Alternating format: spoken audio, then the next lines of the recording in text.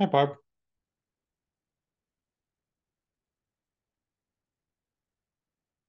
Barb, are you there?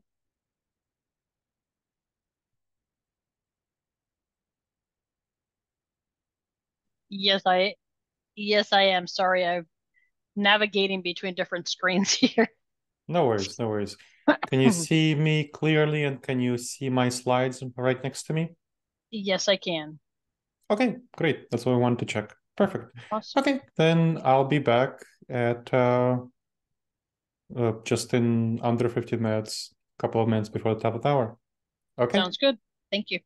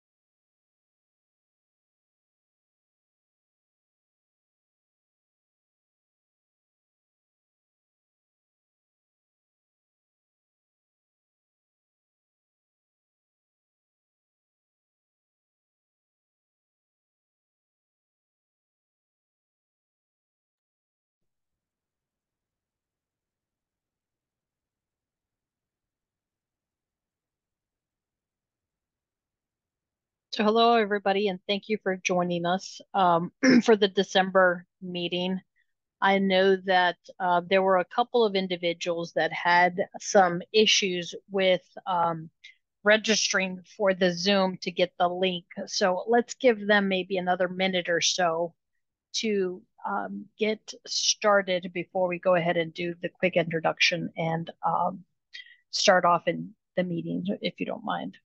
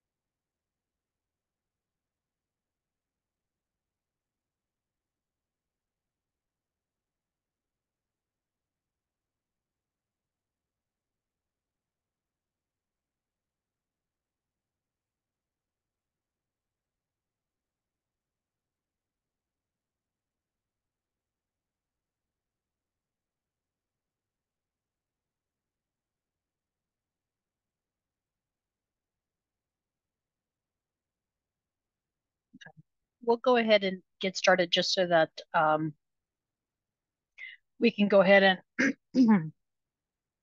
and uh, finish on time. So um, thank you again for joining us for the December um, ISACA meeting.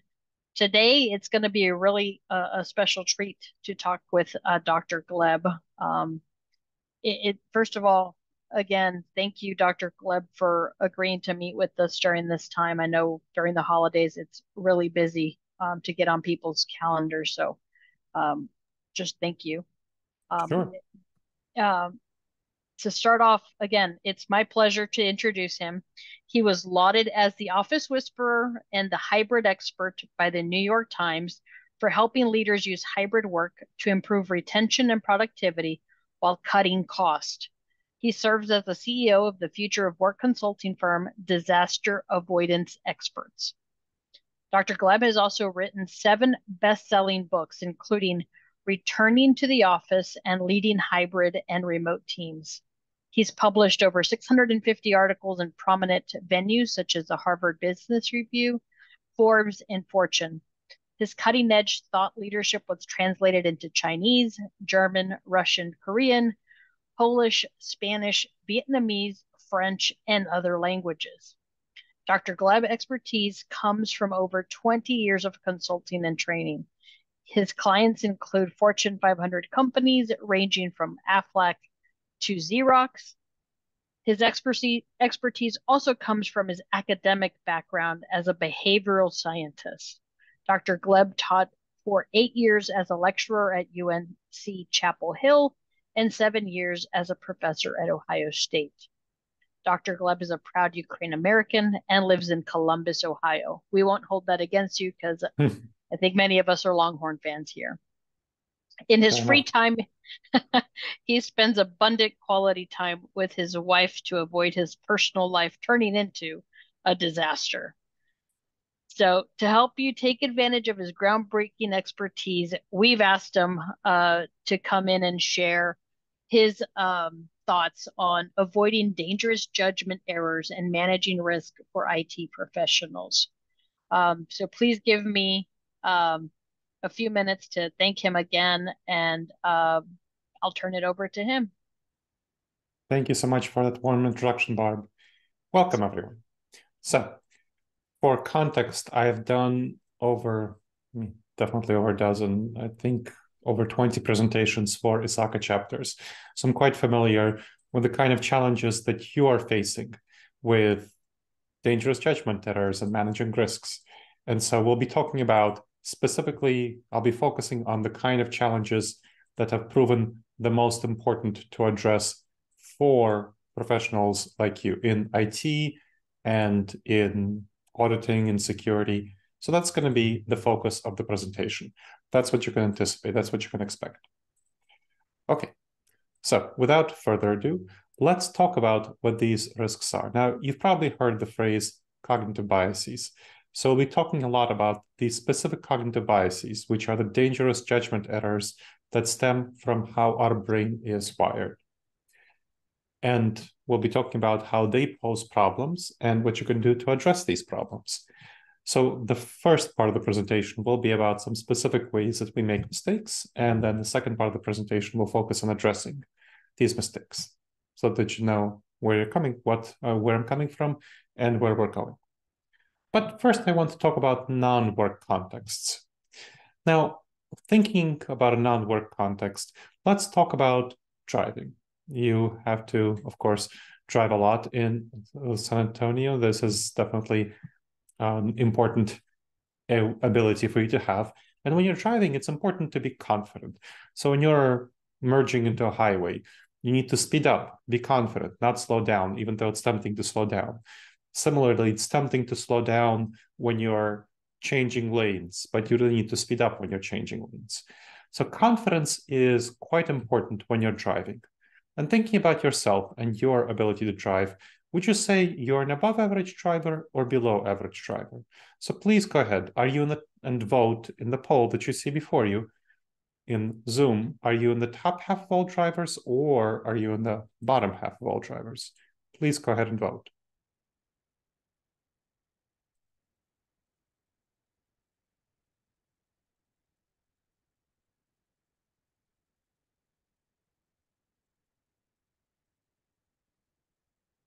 Still voting. Give, see about 70% participated. Let's give five more seconds. Make sure that you participate, make your voice heard.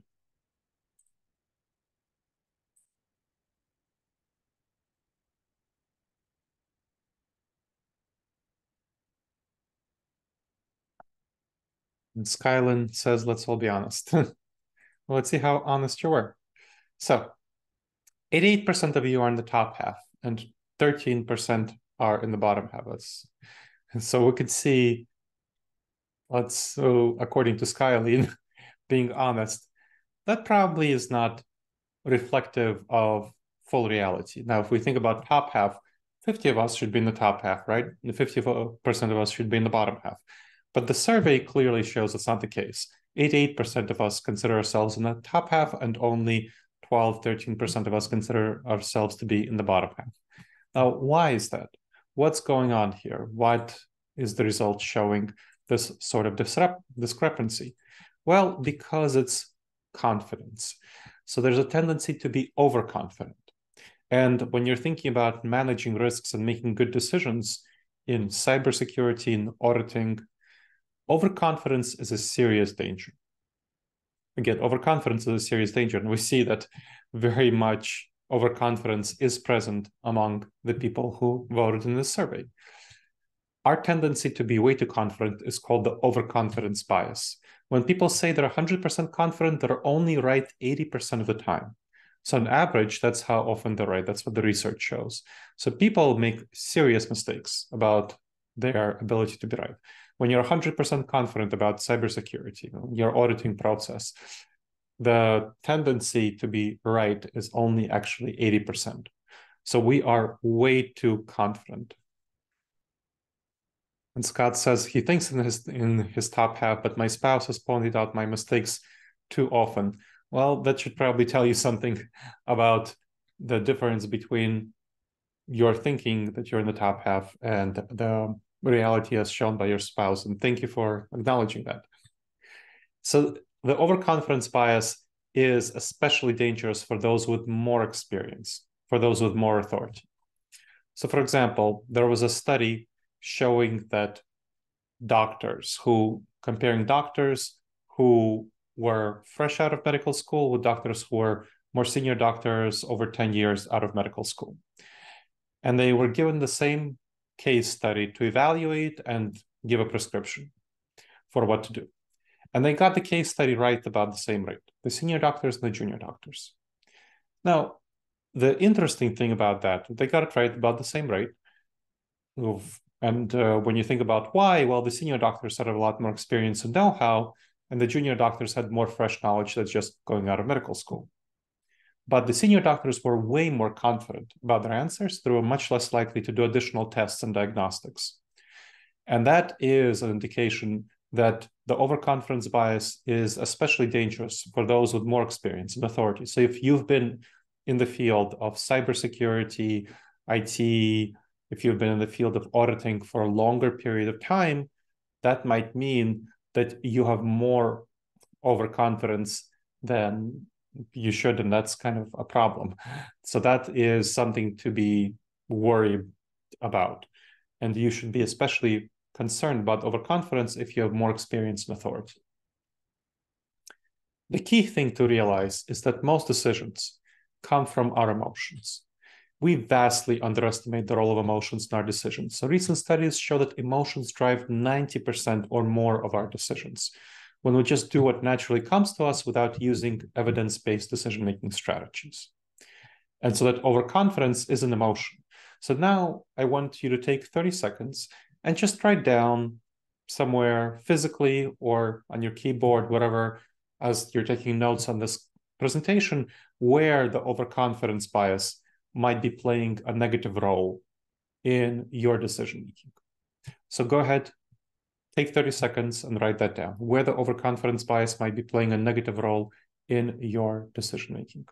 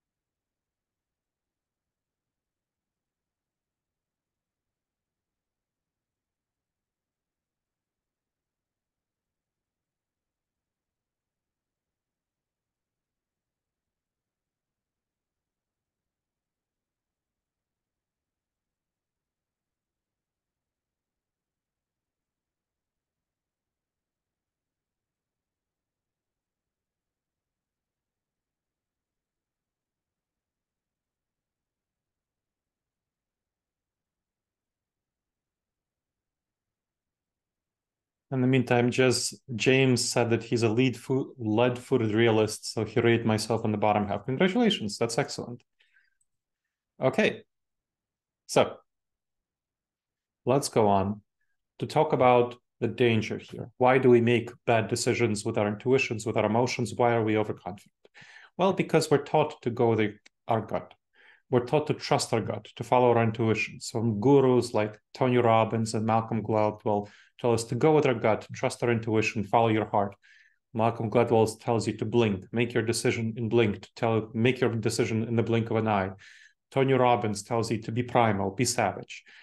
That is not great advice. The thing is, trusting our gut feels very comfortable. And we can't tell apart the feeling of when we are actually right from when we just feel comfortable. When we feel good, we feel overconfident. And so that often leads to disasters because our gut is actually not evolved for the modern world.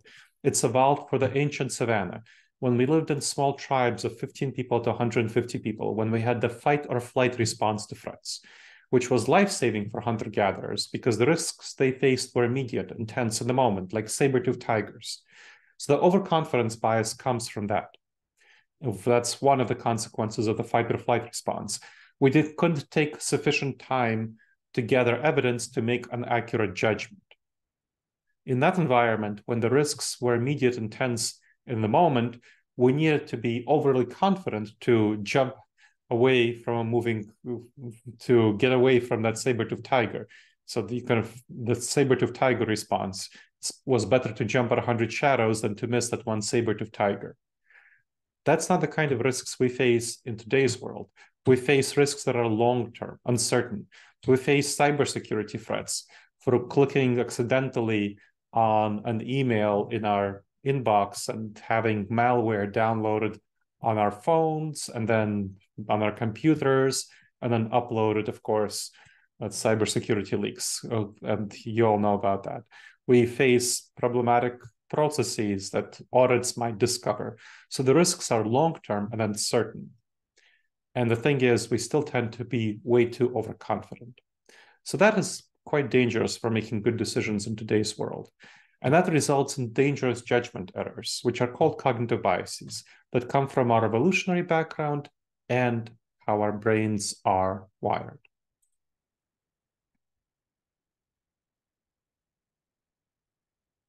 Now, thinking about that, let's take a look at this poem.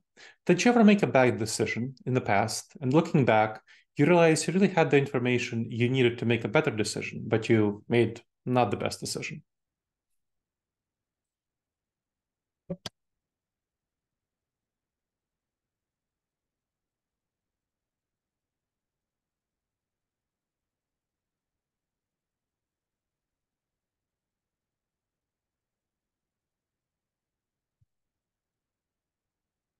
See, most people voted. Two thirds voted. Let's give people five more seconds. Share about your decision making.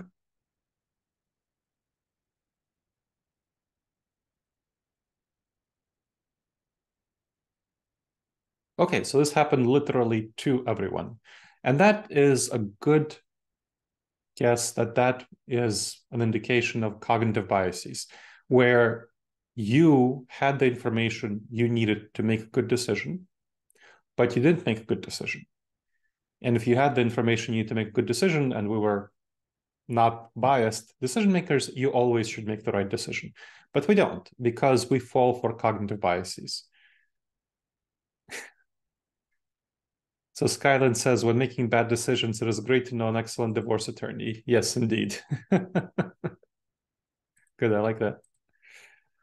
Okay. So let's talk about some more of these cognitive biases. And the first thing I want to answer is a question that a number of you might have thought about when, if you weren't quite paying attention to Barb's introduction and you just heard me speak. Obviously, I have an accent. So a lot of people want to know when I go to Texas, where am I from? I'm happy to tell you, I'm my dad is from Ukraine, as, Ma, as Barb mentioned. My mom is from Moldova. So, Moldova, unfortunately, Ukraine is very famous right now. Moldova is a little country to the southwest of Ukraine. It's so tiny that you need an arrow to point to it on the map. So, you could see both Ukraine and Moldova on that map. So, that's where my dad and mom is from. And I was born in 1981. And then I came to the United States in 1991 when that part of the world was freed from Russian domination.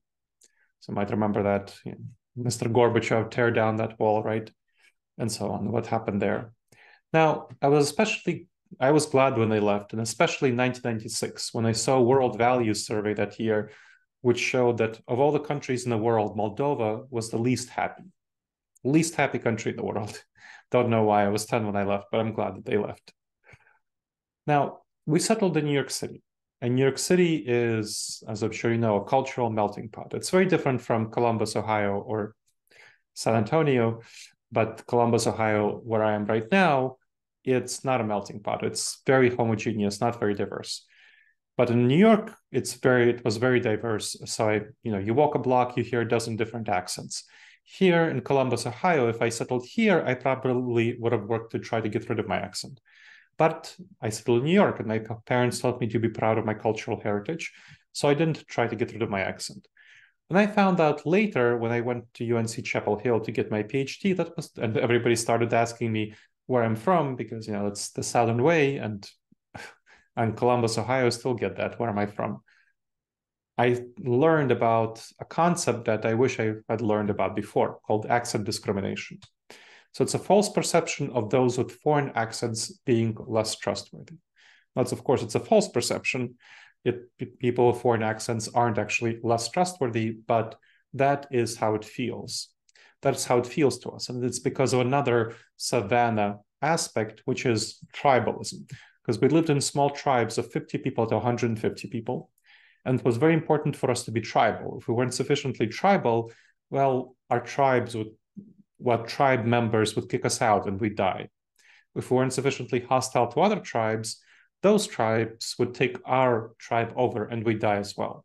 We're the descendants of those who didn't die.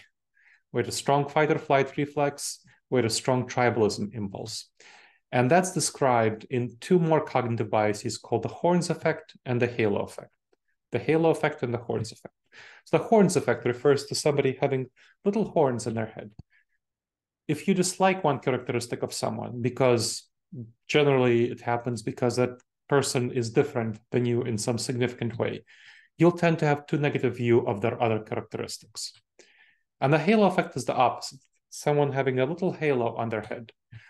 If you like one characteristic of someone, you'll tend to have too positive view of their other characteristics. And this functions in a whole variety of settings. So for example, if you are auditing a department, the people who are doing the auditing, so your audit team, will have a halo effect toward other people who are doing the auditing team but the people but the, there's going to be a natural horns effect toward people you're auditing. And the people who are being audited especially will have a natural horns effect towards you. Let's say with it there's going to be a natural horns effect toward it from people who are required to follow cybersecurity guidelines like oh these annoying it people why are they telling me what to do and they are not realizing the kind of damage that can come from malware or that ransomware hacks and so on. Quality control. So quality control has a natural halo effect toward others within quality control. And there's a horns effect toward people in operations who just want to get the job done. And there's natural conflicts there. So those are within of relevance to ISACA members within organizations, but it happens to all sorts of business relationships. So those are internal, it happens externally as well. So let me share with you a couple of an interesting example of that.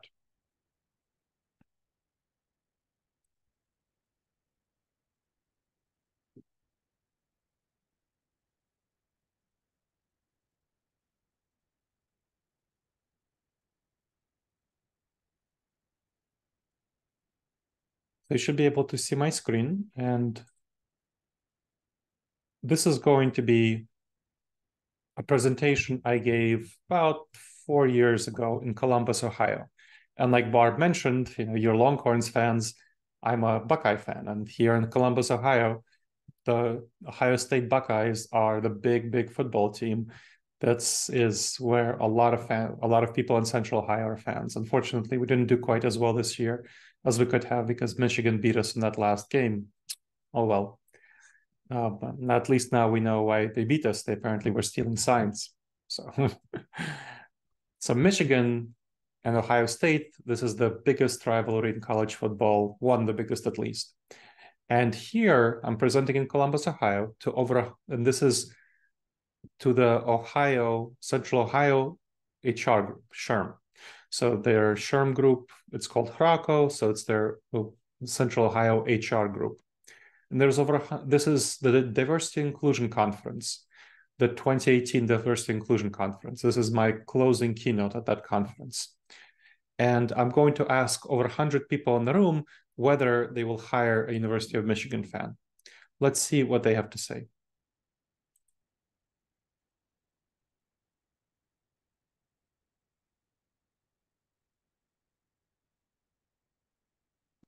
We can't hear it.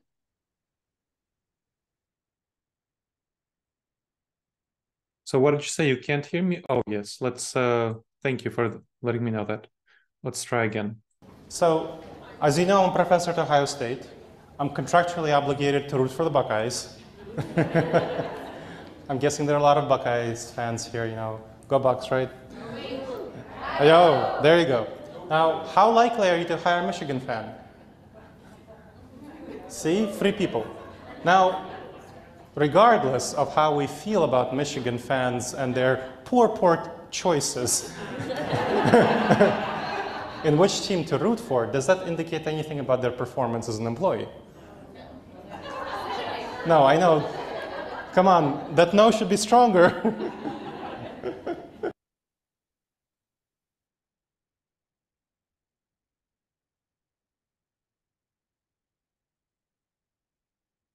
so, as you can see, over 100 people in the room, only three of them would hire University of Michigan fan, three of them.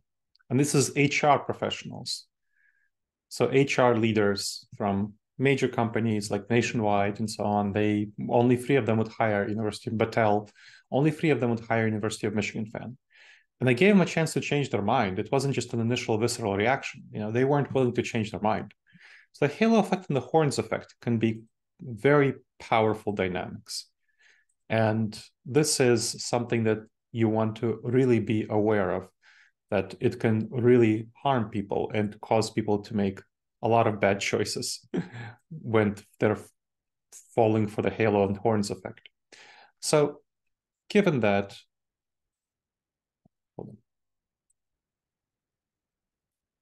let's take 30 seconds to write down where the halo effect and the horns effect might be impacting your decision making, your company's decision making. So please go ahead and write that down.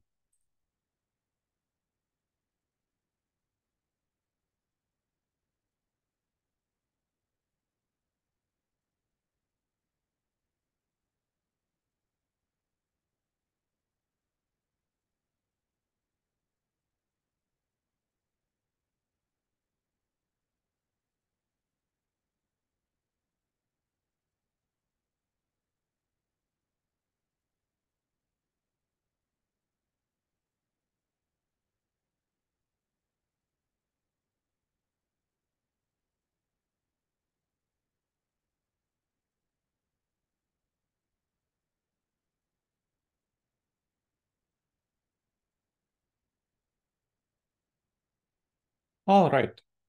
And let's take a poll. So thinking about the halo and horns effect, how valuable would it be for you and your team to address the halo effect and the horns effect?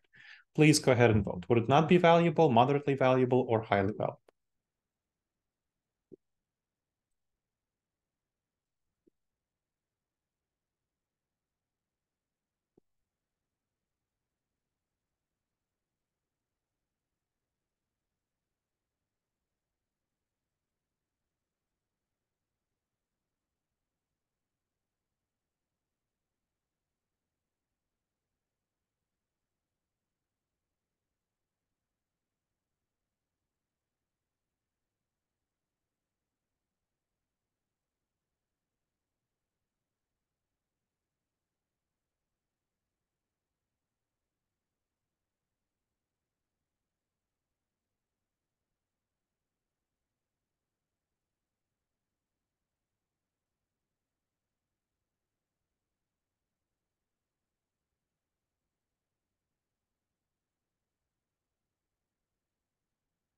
Okay, see most people participated. Let's give five more seconds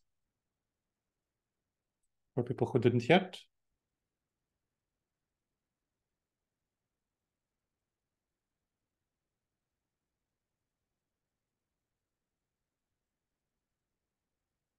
Okay, so I see the overwhelming majority of you would find it highly valuable or moderately valuable. Excellent. So you can take this information and apply it to your team, bring this information back, especially if you think it's highly valuable, and start addressing these problems. Good.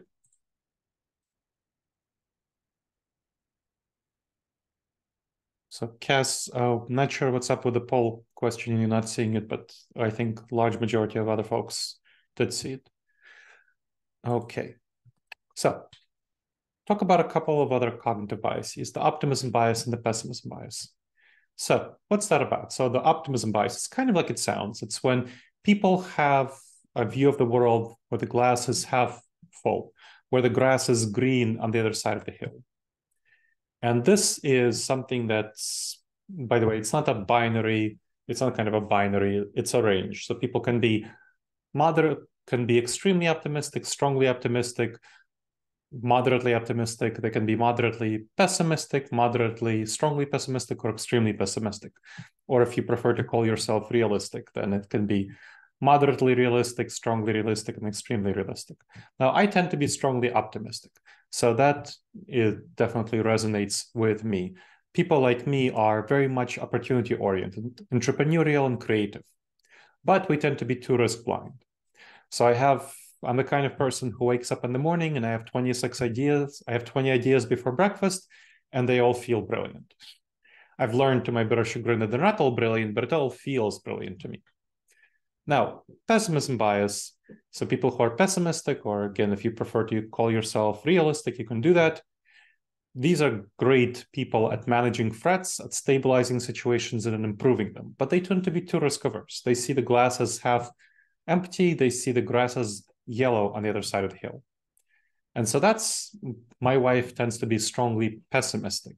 So it was definitely a challenge when we were first getting together in the relationship. And before I discovered these concepts, that was before I went to UNC Chapel Hill and learned about this, that uh, one of the challenges for me was that I really love surprises. So I'm very, I love surprises, love getting them, love giving them. And it was very hard for me to appreciate that my wife doesn't like surprises. So I kept trying to surprise her. I give her, I try one surprise and she'd be have a negative reaction. I'd try another. And it just felt to me like, oh, I just gave her the wrong thing or I just did the wrong thing for her. So that was very hard for me. That's and that speaks to how hard it is for optimists to realize the perspective of pessimists. Optimists tend to see the world in again as very opportunity oriented. That we don't we see it as full of rewards, not full of risks. We experience a lot of frustration when pessimists block our ideas. And pessimists see the world as more full of threats, and they tend to experience a lot of anxiety when optimists like me just kind of shoot from the hip and be our gung ho about our ideas. So there's a lot of problems if you don't know how to work together effectively. You need at least two of each on your team. If you don't have optimists, you won't have innovation, you won't have creativity. If you don't have pessimists, you won't have sufficient skepticism, you won't have sufficient improvement and implementation. The general tendency for optimists and pessimists is that optimists generate ideas and pessimists shoot them down. And there's a lot of fighting when you're on together with between optimists and pessimists on the team. Much, much more effective is an approach where optimists generate ideas. They they're not the pessimists are not very good at generating ideas. They might generate one idea to an optimist 10 ideas because they see the inherent flaws of each idea. So it takes them a long time to generate an idea, but the ideas they generate are generally good, but they don't generate that many ideas at all. So a much better approach is for, for optimists to focus on generating ideas and pessimists than to focus on evaluating and improving ideas. That's a much better combination. So optimists need to learn to let go of their ideas and trust that pessimists will evaluate and improve them effectively. So for example, for me, I own a six people consulting company, disaster avoidance experts, talking about this risk management, auditing for in the tech space for tech professionals and auditing professionals. And so what we do is I have my 20 brilliant ideas. It's very tempting for me to just work with other optimists because, but that won't work well because then we'd have 120 different ideas with six people 20 ideas before breakfast. We'd be running on 120 different directions and the company would go bankrupt. Much much more effective is that i give my 20 brilliant ideas to i hire make sure to hire pessimists. I give my 20 brilliant ideas to a pessimist and they say well these are all half baked potatoes but you know maybe these three are worth finishing baking.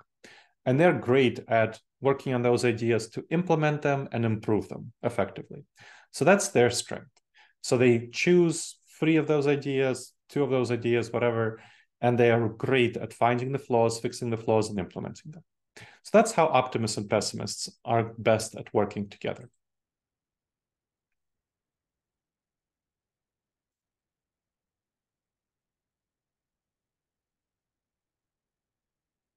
Now, thinking about that, how valuable would it be for you and your team to address the optimism bias and the pessimism bias in your organization? Go ahead.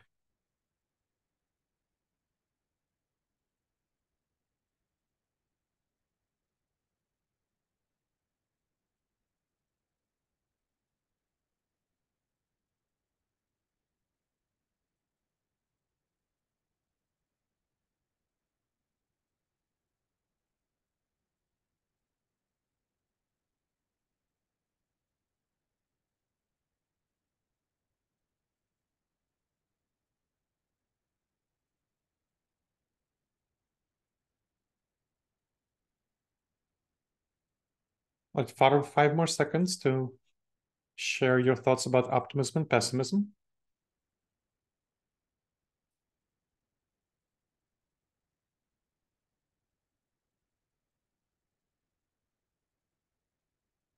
Okay, so this is even more popular than the previous one. Everyone found it either highly valuable or moderately valuable. That's excellent. So again, take the optimism and pessimism ideas and bring them back to your team and start addressing the challenges you see around them. Good. Okay.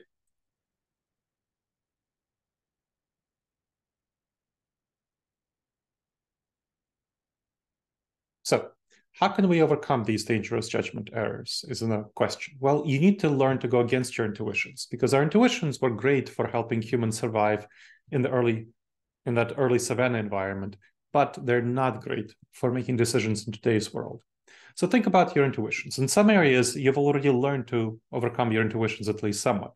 In the early savanna environment, when we came across a source of sugar like honeys, bananas, it was very important for us to eat as much of it as possible. In we are the descendants of those who had a very strong trigger response by sugar.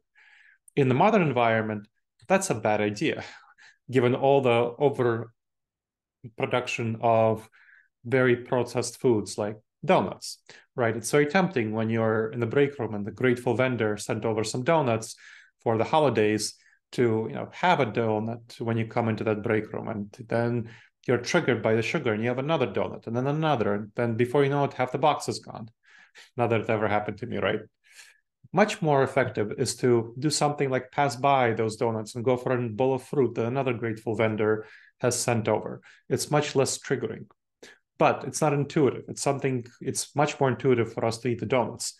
So you have to overcome that temptation and work on yourself to choose to eat the healthy fruit.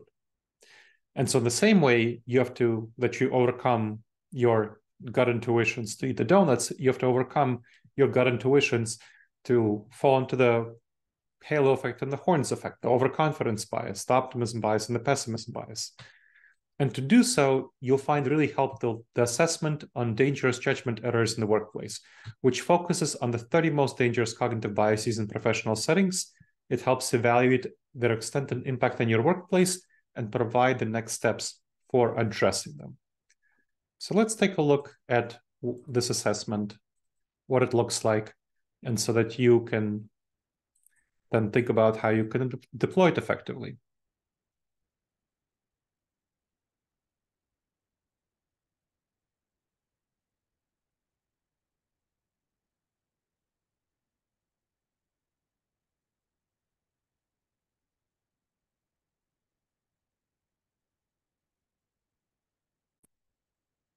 Okay, so you should be able to see the assessment.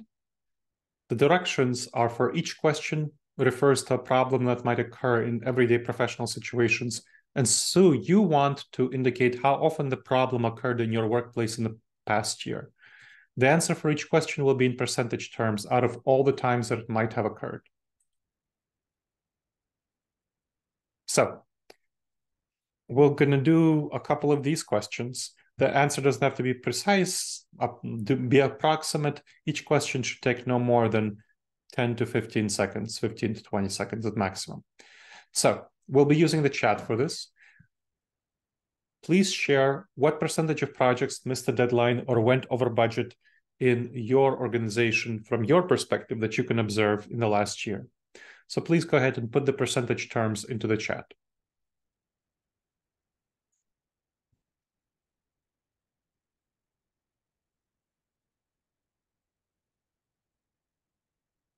So Dustin says 20. John says 50. Dean says 7. Deidre 20. James 40. Leo 40. Kathy 15. Tanea 15. Barb 45. Then Daniel says 50. So please go ahead, keep sharing. But you can see that there's a wide range, right?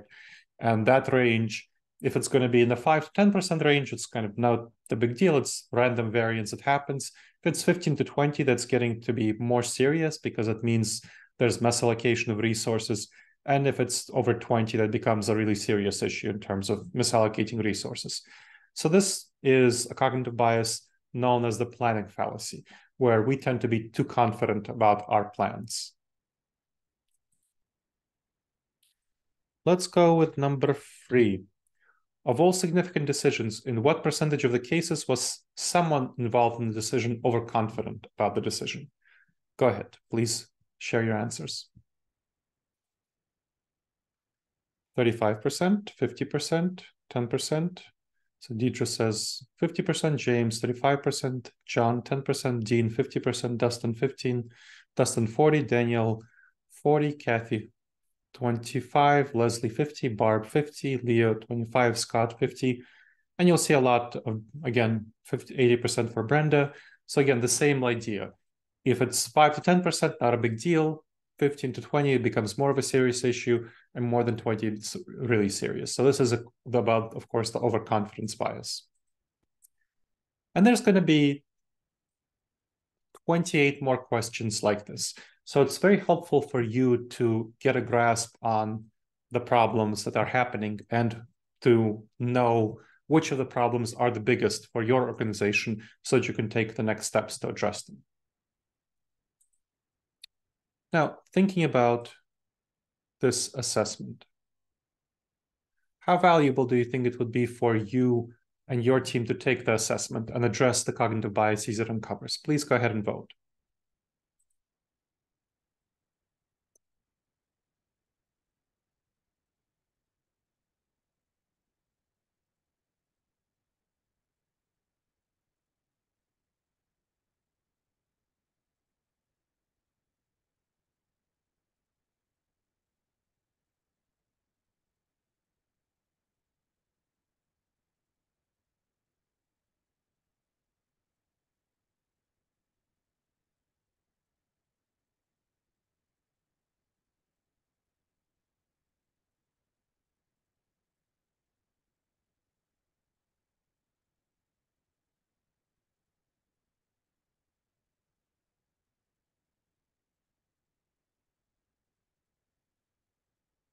Okay, five more seconds. Share your thoughts.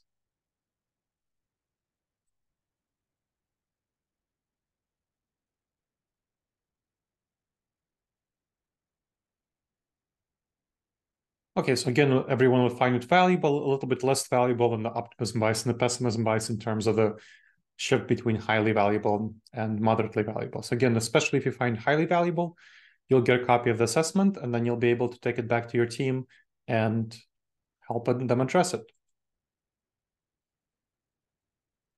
Great. Okay. And then I want to give you a tool that you can use to make quick decisions effectively that address a number of these cognitive biases at once. So these are five questions to avoid decision disasters. It's excellent for you to use by yourselves or to have use with your team together to make decisions. So if you use it by yourself, you'll just go through it. It'll take you a couple of minutes to go through it and ask the five questions that you need on any decision that you don't want to screw up. Whether you're writing an email to a client that you want to make sure goes well, you're making a proposal, but also something larger like thinking about various project steps in an auditing project or cybersecurity project, you can make these decisions if you're making these decisions as part of a team, just have everyone answer the questions in advance of the meeting and then come to the meeting with the questions answered in hand.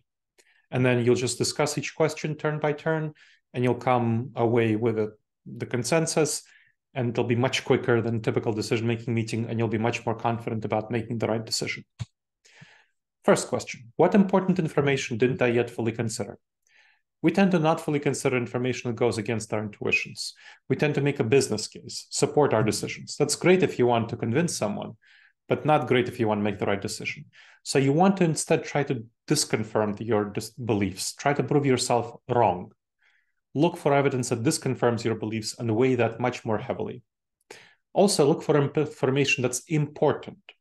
Don't look for all information. Don't want to get stuck in analysis paralysis. So decide what, what information is important and focus on that. Second, what dangerous judgment errors did I yet address? So, what cognitive biases might be in play?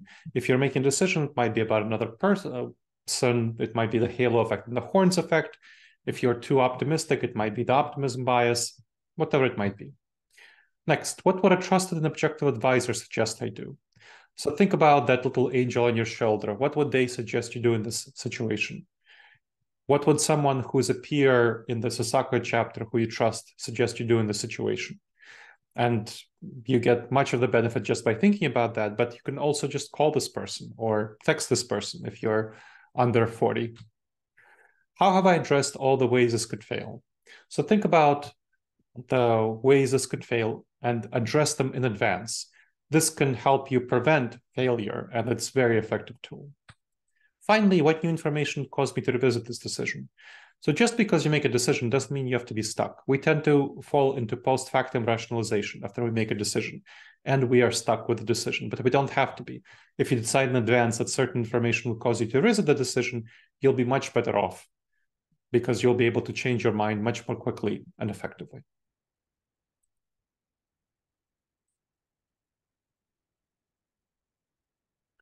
Okay. And then how valuable would it be for you and your team to use the five questions to avoid decision disasters technique to make good enough decisions? Please go ahead and vote.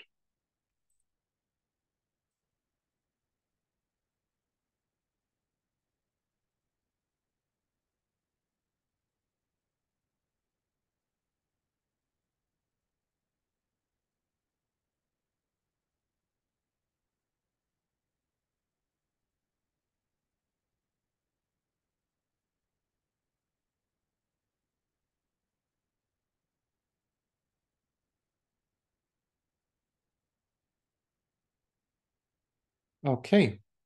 Most people voted. Let's give five more seconds. Share your thoughts if you haven't yet.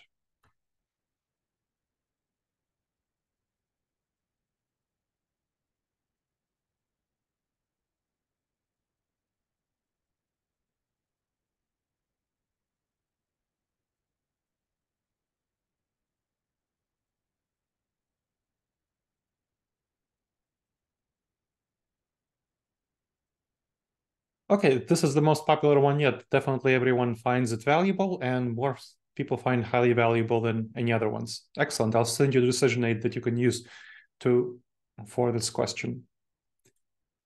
Great.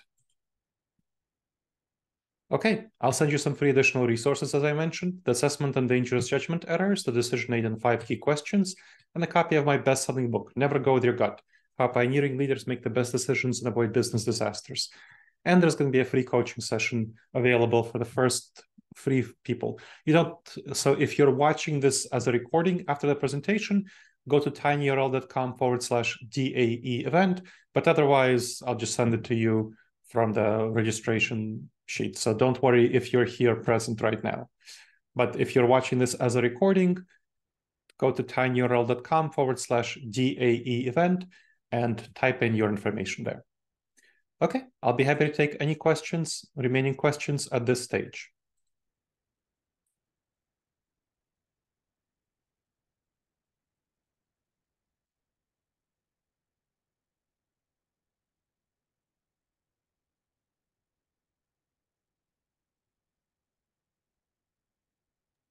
You can type your questions into the chat or unmute yourself, whatever you're more comfortable with. Dr. Gleb, while we're waiting for people, oh, there we go, for one, um, really quick, is it possible to share the slide deck so that we can put that Yes, and make it available? And then also we can add that free additional resources link uh, or website to to that information as well. Okay. So sure, Barb. So Cass asks, what about the effect on bias from peer pressure? Sure, it was there in the SHRM meeting example. Well, there were three people who were willing to share and I think it was going to be people were either raising their hands or not raising their hands, but there were definitely people who were raising their hands. So it wasn't like no one, and it wasn't particularly a opprobrium in terms of it's obviously doesn't matter for your it obviously shouldn't matter whether someone's a Michigan fan for you to be vote for you to hire them, right? So it's kind of quite problematic for you to be an HR professional and say that you will not hire someone who's a Michigan fan just because you're a Michigan fan. That kind of goes against very clear ethical guidelines, but people are still not willing to do it. Other folks. Maybe if it's a football coach they're trying to hire, we would say no. Uh-huh. Sure. oh, that's nice. Interesting. So Leah, so thank you for that comment, Tanea, if I if I pronounced your name correctly. How most people think that going from gut decisions is best? Well, that's because it feels comfortable, it feels right, and people just trust their feelings. Uh, they trust how they feel, and they just go with what they feel. The large majority of people, that's that's just how they roll.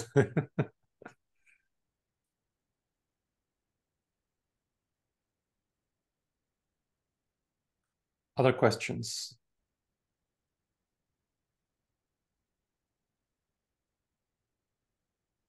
You can mute yourself or put it in the chat. Five more seconds.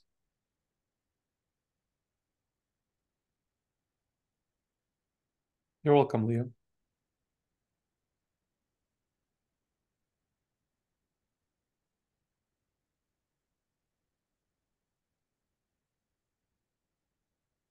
Yeah, definitely the biases are what involves some racial biases. That's the halo effect and the horns effect.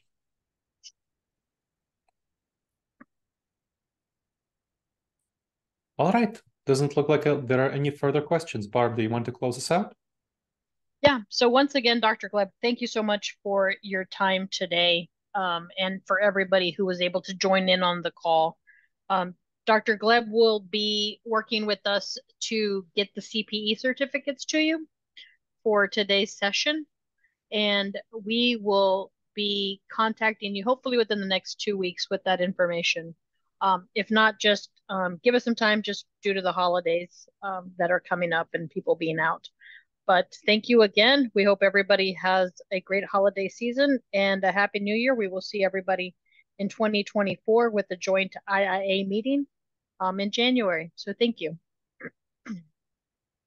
Thank you, everyone. Have a great day. Bye bye.